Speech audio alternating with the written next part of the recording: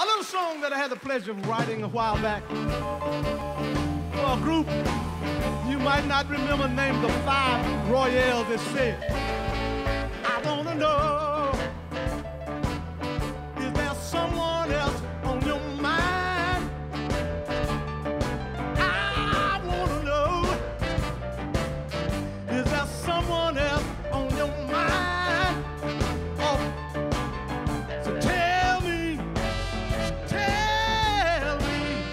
Am I wasting my